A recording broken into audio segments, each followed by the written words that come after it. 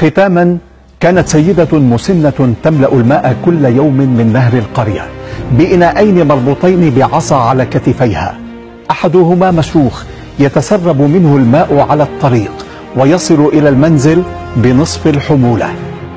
بعد سنتين من التسريب نطق الإناء المشوخ وقال لسيدته أنا خجل من هدر تعبك في نقل الماء. ابتسمت العجوز وقالت للإناء ألم تلاحظ الزهور التي فرشت الطريق من ناحيتك فقط؟ لقد غرست البذور على طول مسارك وهذه الزهور التي تزين منزلي أنت تسقيها وأنا أقطفها. فلو لم تكن مشروخا لما كان منزلي جميلا. لنتقبل ثغرات من نعيش معهم وليتحول اختلافنا جمالا وقوة. إلى اللقاء.